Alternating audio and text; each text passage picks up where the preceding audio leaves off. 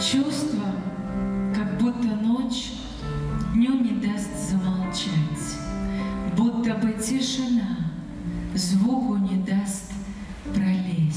Вряд ли вы встретите человека, который, не задумываясь, скажет вам, чем знаменита Ирина Александровна Астахова. Зато о сетевой поэтессе под псевдонимом Ах Астахова знают все. Ее имя произносят с придыханием, ее стихи тиражируются без книг и брошюр, а зрительные залы во время концертов заполнены до отказа. Чтобы с рассветом испить росу, чтобы спокойно любить и мыслить. Я хочу жить с тобой доме в лесу и созерцать бесконечность жизни.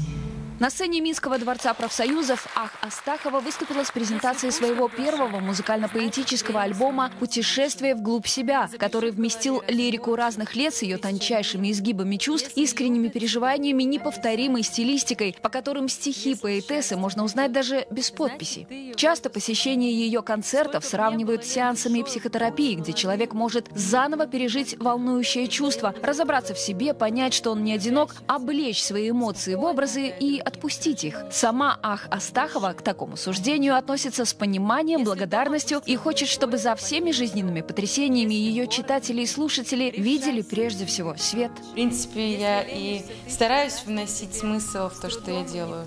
Если раньше я просто читала стихи да, о своих переживаниях, э, а там о неразделенной любви или еще каких-то внутренних конфликтах, то сейчас, когда я понимаю, что у меня большая аудитория, и я могу что-то нести, мне хочется нести истины, которые, но опять же, я их не навязываю, которые лично мне помогают быть счастливой.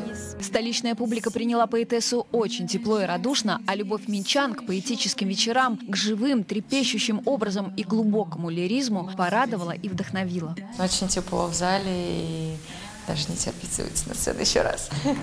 Верующий человек знает всегда, где храм. Тихо поет душа, все еще впереди.